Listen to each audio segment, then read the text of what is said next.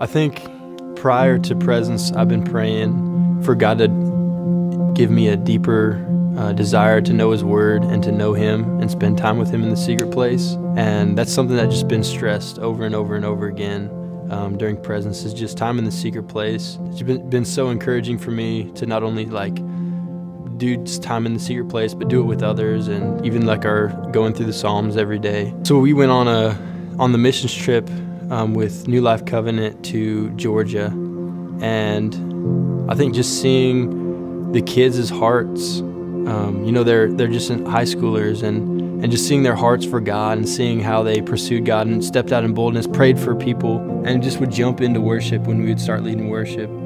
Uh, I was just so encouraged by by their faith and and how bold they were, and it really marked me, I think, because like I didn't have that when I was their age, and and to to see that in them, like there's so much promise in the future. Knowing the battles that your generation faces, and knowing how to not only encounter those interactions, but like conquer those interactions, and that's being equipped through the Word, um, being equipped with fellow believers, um, just being equipped with the Ephesians 6, the armor of God, and ready to defend, be a warrior for um, the faith.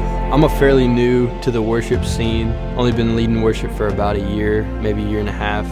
They just come alongside you and help you um, no matter what level you're at. And not only do you grow in your worship abilities, but I think the most important thing is you grow in your relationship with God and just knowing Him better. Like I think I put God in a box a lot of times, and and this helped me to break God out of that box that I put Him in because He never was in that box. But yeah, just just the growth that you'll have this summer is is worth it. I think. Yeah, Jake and Micah, I just want to thank you um, from the bottom of my heart. Like all you poured out, um, even in in me and even in the others, yeah, like it was worth it. Um, we learned a lot from you, and I respect you guys a lot.